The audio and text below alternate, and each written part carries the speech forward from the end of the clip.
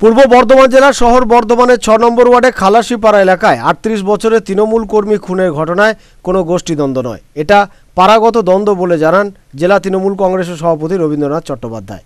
তিনি জানান, অশোক মাঝি তৃণমূল কর্মী ছিলেন, এটা ঠিক। যারা তাকে খুন করেছে, তাদের কঠোর শাস্তির দাবিও জানান তিনি। তিনি আরও জানান, পুলিশ উচ্চ পর্যায়ে তদন্ত করছে। যারা এর সাথে যুক্ত, তারা কেউই রেহাই পাবেন না বলে জানালেন জেলা সভাপতি। এদিন নিহত তৃণমূল কর্মী অশোক মাঝিকে শ্রদ্ধা জানাতে বর্ধমান মেডিকেল কলেজ হাসপাতালের পুলিশ মর্গে যান।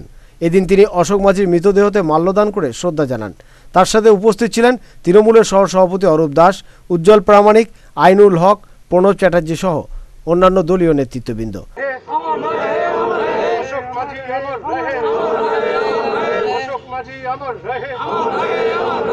অশোক মাঝি আমার তোমায় ভুলছি না ভুলবো না। ভুলছি না ভুলবো না। অশোক মাঝি আমার রহে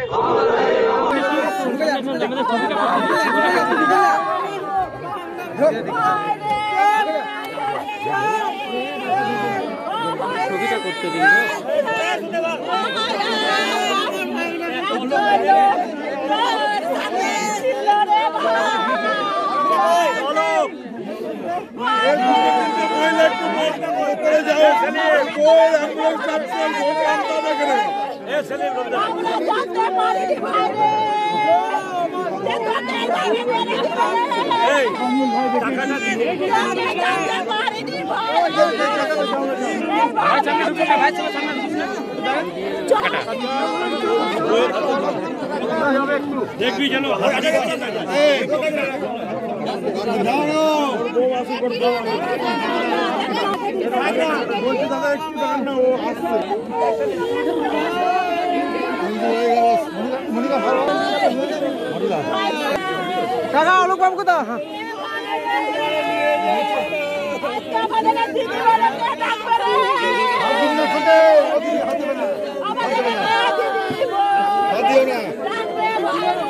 এদিন পুলিশ তিনজন মহিলা সহ চারজনকে গ্রেপ্তার করেছে।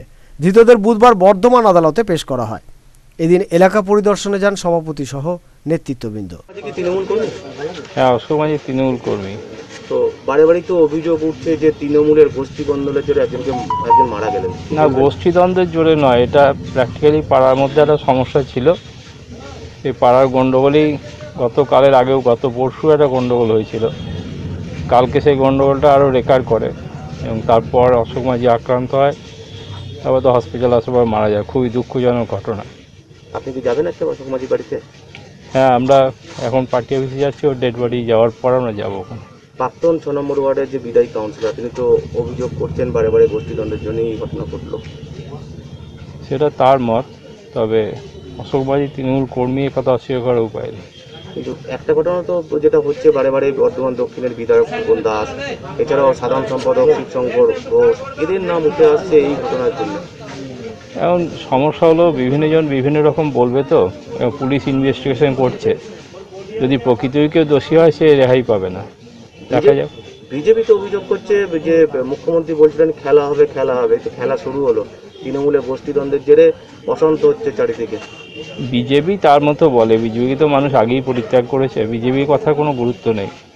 তবে যেই ঘটনা ঘটুক যারাই এর সঙ্গে যুক্ত থাক পুলিশ ইনভেস্টিগেশন করছে এবং একটা উচ্চ পর্যায়ে ইনভেস্টিগেশন হচ্ছে যারা যুক্ত থাক তাদের বিরুদ্ধে ব্যবস্থা হবে। এর আগেও দেখা গেল মঙ্গলকোটে এই ধরনের ঘটনা তারপর আবার বর্ধমান শহরে। বারে বারে ঘটনা ঘটছে জেলাতে। আসল মুশকিল হয়েছে কি যে আমাদের মধ্যে কিছু বিজেপি লোক ঢুকে আছে। তারা চাইছে পশ্চিমবঙ্গটাকে অশান্ত করে রাখতে। আর আমাদেরও কিছু কিছু কর্মী সেই ফাঁদে পা দিচ্ছে। তা আমরা সেগুলো দেখছি দেখে সেগুলো নিয়েও চিন্তাভাবনা করব। থ্যাংক ইউ দাদা। থ্যাংক ইউ বর্ধমান থেকে পিন্টু প্যাটেল ও টিঙ্কু সাও আনন্দ বার্তা।